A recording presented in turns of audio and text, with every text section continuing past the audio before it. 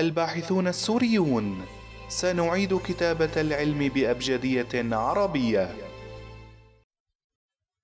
العمارة الافتراضية وحدود التصميم المستقبلية. أثرت التطورات الرقمية الجديدة على معظم الصناعات التي نعرفها تقريبا ولكن بقيت العمارة دون تغيير يذكر محصورة بغالبيتها ضمن الأطر المادية. إلى أن جاء الواقع الافتراضي ليغير الطريقة التي نتعامل بها مع الفراغات للأبد. واقعنا يتألف من عدة تعابير مختلفة فلكل حضارة نموذجها الخاص بها بمكوناته وخصائصه المميزة. ولكن انخراطنا ضمن مجتمع الوسائط المتعددة المعروف بأنه واقع هجين ومعقد حيث تستكمل التكوينات المادية بالخيالية مثل الأفلام وألعاب الفيديو والإعلانات والهيكليات الافتراضية. إن التأثيرات الخاصة هي جزء من حياتنا في الوقت الراهن والواقع الافتراضي أحدها فهو ليس بعدا مستقلا منفصلا عن الواقع الحقيقي ولكنه بات جزءا منه. ومن أجل العمل في هذا المجال الواسع كان من الضروري تعلم مهارات معمارية جديدة إضافة لتمكيننا من العمل على أجهزة العرض الجديدة مثل Oculus Rift و Gear VR و Google Cardboard و HTC Vive و HoloLens مع محركات إظهار عالمية مثل Unity أو Unreal من أجل مواكبة التطورات الحالية والمستقبلية في العالم. نعيش في وقت اندمج فيه الواقعين الحقيقي والخيالي بدءا من منازلنا إلى شاشات التلفاز في عصر تجاوزت فيه التكنولوجيا حدود الإنترنت. ليست إهمالا للواقع الحقيقي ولكن تم العمل لجعل المستخدم يعيش التجربة الكاملة في بعض الأماكن.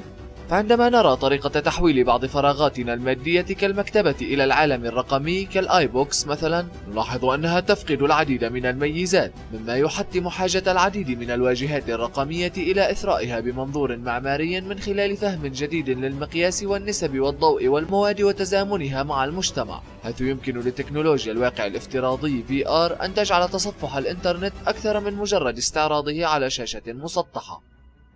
إن المنصة التفاعلية الجديدة التي تمكنك من التنقل بشكل ثلاثي الأبعاد تضفي بعدا جديدا للتواصل بين البشر والمنتجات والشركات والمعلومات كما تفتح عالما جديدا من الفرص مثل قوائم الطلب المهيئة في المكان بشكل ثلاثي الأبعاد وشبكات ثلاثية الأبعاد مع منظمات طبوغرافية غير مكتشفة مكيفة إلى أوسع نطاق وحركة جسم الإنسان والقدرة الإدراكية للدماغ وفوق كل ذلك تجربة أكثر جاذبية وحسية وعاطفية للمستخدم أحد الدروس الرئيسية التي تعلمناها من العالم الرقمي هو فكرة عدم حاجتنا لامتلاك الأشياء بعد الآن لأسباب اقتصادية وبيئية أو لأنها فكرة مريحة ببساطة فيتفوق الوصول إلى الأشياء على امتلاكها هل يمكن للتجارب الافتراضية أن تجلب لنا فرحة حدث مهم ونحن مرتاحون في منازلنا؟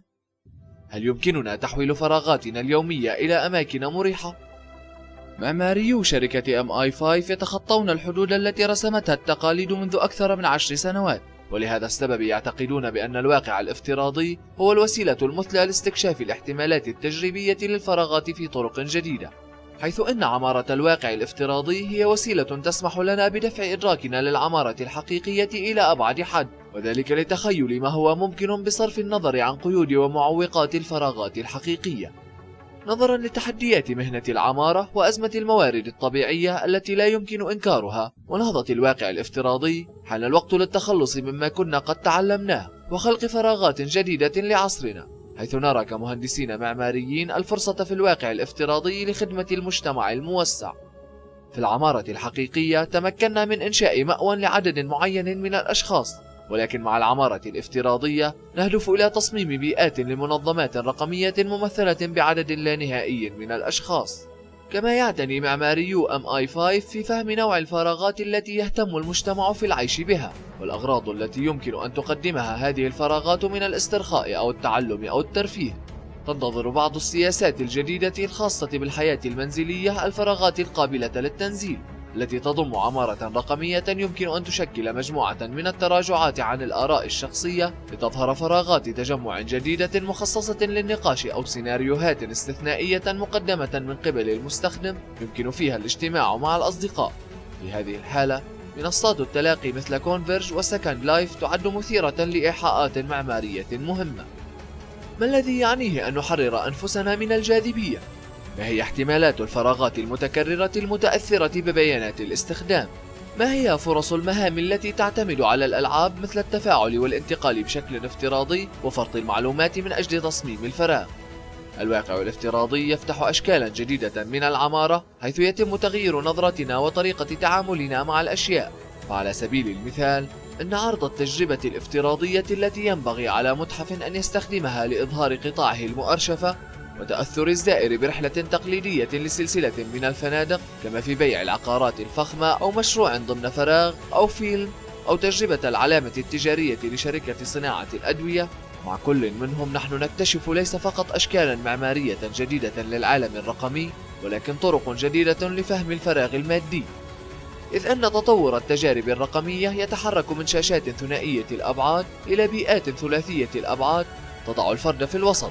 فنحن لا يمكننا أن ننكر أن المهندسين المعماريين لديهم الخبرة في ذلك فالعالم الرقمي يحتاج إلى معماريين بقدر حاجة المعماريين إلى العالم الرقمي. الهندسة المعمارية في كامل إمكانياتها في الوقت الحاضر تمكننا من ابتكار عالم افتراضي جديد يمكنه تغيير قواعد العمارة التقليدية وترك الباب مفتوحا أمام خيال المعماري والمستخدم. هذا ما يحاول المعماريون في مكتب ام اي 5 وغيرهم تحقيقه فهل ترون هذا النوع من التجديد المعماري أمرا إيجابيا؟ وهل تحبذون فكرة تصميم المهندس المعماري لبناء وتنفيذه بشكل افتراضي عوضا عن تنفيذه على أرض الواقع؟